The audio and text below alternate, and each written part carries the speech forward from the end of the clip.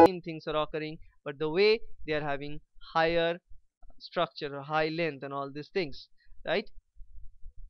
Now what is epistasis? Now epistasis is a phenomena. When one gene completely masks the effect of another gene right? So so it's it's just like one gene is playing the vital role and the master key role over any other gene. For example if we look at here in this case coat color in mice is controlled by two separate genes right c and c. So capital c is for the pigment which is pigment is present or when the pigment is add or c small c is no pigment is present.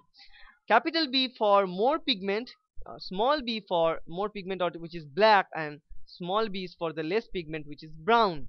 So you can see that capital B means black small b, b means brown.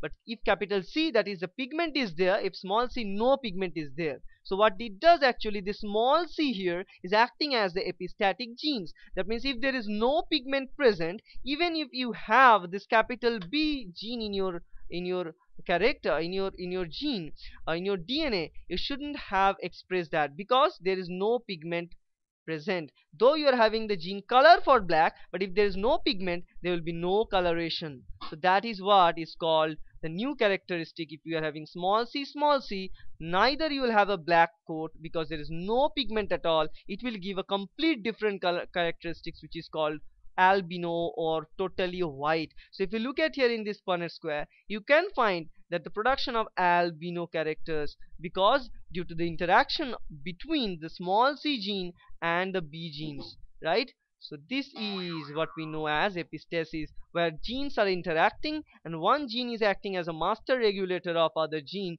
which masks the effect of other gene completely right? So these are the examples and this is the albino character guys.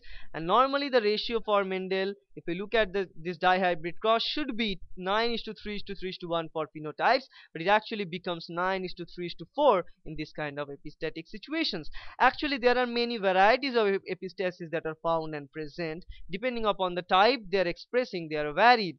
Now this is one example of epistasis and this is recessive epistasis that we can see. If both of them are recessive then you will get the effect. 9 is to 3 is to 4 is the modified ratio from the Mendel